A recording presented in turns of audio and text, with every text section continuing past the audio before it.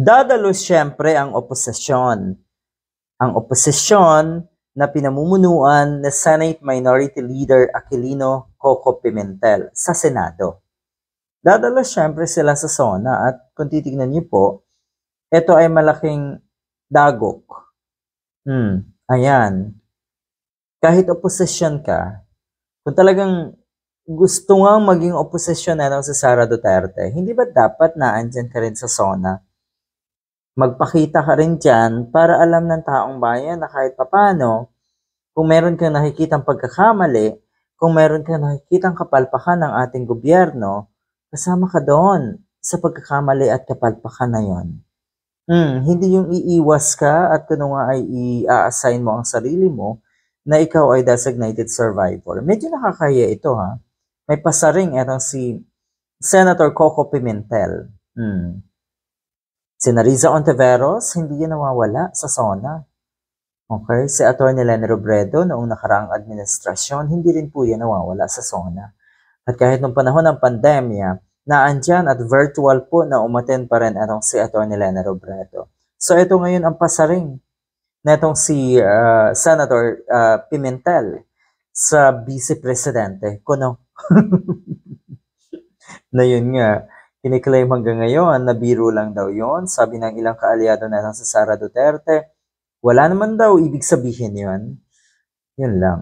Yun daw ay wala namang implikasyon sa ating uh, or sa sa sitwasyon ng ating bansa ngayon. wala daw implikasyon. Wala daw ibig sabihin. Ganun daw yon Anyway, anong sabi netong si netong si uh, Senator Pimentel? Nag-attend naman kami sa last SONA. So we will attend ngayon, this time. Hindi kami natatakot sa designated survivor. Yon.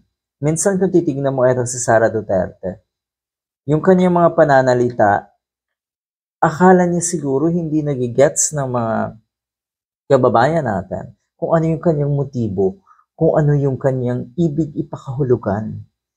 Yon. Ganyan na ganyan ang isang Sara Duterte. Katulad din po ng uh, amang si Digong na madalas ay pag nabisto na, madalas ay pag naalimpungatan na, yun nga, yun yung term ng mga kababayan natin, na himasmasa na, sabay bawi na yung mga yan. Kalaunan sigurado babawiin to na no, si Sara Duterte.